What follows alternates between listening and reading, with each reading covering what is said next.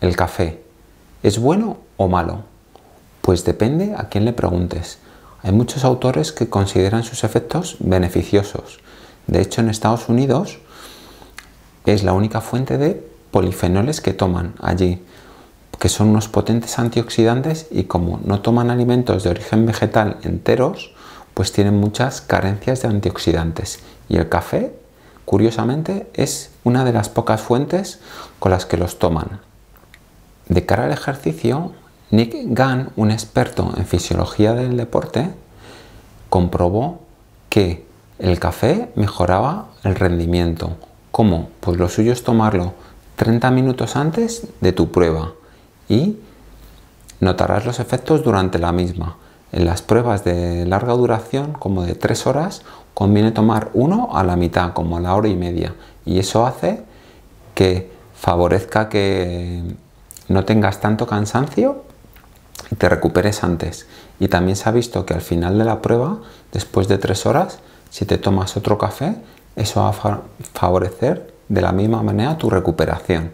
Así que ya sabes, si eres deportista, te aconsejo tomar café, pero úsalo con cabeza en los momentos indicados. Si tomas demasiado café, pues vas a tener una habituación al mismo, de tal manera que vas a necesitar dosis cada vez más grandes para que te hagan el mismo efecto. Y ese efecto beneficioso en el rendimiento como deportista no lo vas a notar tanto. Por lo tanto, no tomes café indiscriminadamente, sino tómalo allá cuando lo necesitas, en esos picos de rendimiento, que no tiene por qué ser solo en tu deporte. También puede ser si estás en tu trabajo y tienes que hacer una presentación o tienes que rendir de cualquier manera. El café es un estimulante mental y te ayudará en esos momentos. En un estudio que hizo Alexandro Ferretti, un nutricionista y experto también en fisiología, descubrió que el café, que es un tema que le apasiona, en función de la calidad del mismo, los efectos en el cuerpo varían. Si tú tomas un café malo, de esos que hay en muchos hoteles en sobre, que es soluble, pues ese café va a hacer que luego te aumente la insulina, la glucosa en sangre y aumente la insulina. Por lo tanto, si eres diabético, no te va a sentar nada bien. Sin embargo, un café de muy buena calidad o de buena calidad no tenía los mismos efectos. Algunos autores, como Sachin Panda, un especialista en la alimentación y en cuándo hay que comer, nos recomienda, de hecho, no tomar café. Él no lo hace, se ha deshabituado. Por lo tanto, tenemos que cuestionarnos si las ventajas del café compensan a las desventajas, ya que nos activa demasiado y puede hacer que no dormamos por la noche. El café tarda hasta 6 horas en metabolizarlo, en digerirlo, con lo cual los efectos los puedes notar hasta muy tarde.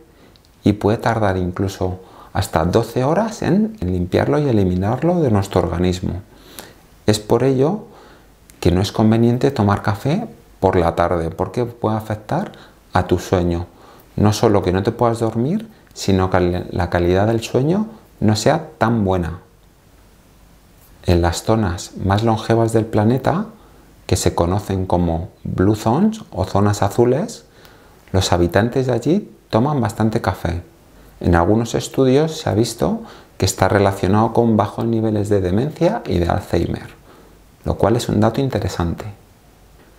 Mi recomendación, disfruta del café, pero con moderación. Elige los instantes adecuados donde lo quieres utilizar, ya sea por placer o en los momentos de rendimiento que necesites y evítalo por la tarde en adelante para que no afecte a la calidad de tu sueño.